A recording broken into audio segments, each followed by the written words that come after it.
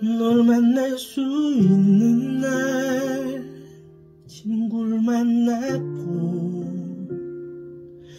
끊이질 않던 대화가 이젠 끊기고 널 바라보다가 다른 사람을 겹쳐봤어. 누군가 내 안에 들어온 것도 아닌데 사랑한단 말은 점점 미안하고 억지로 한 것뿐인데 넌 좋아하고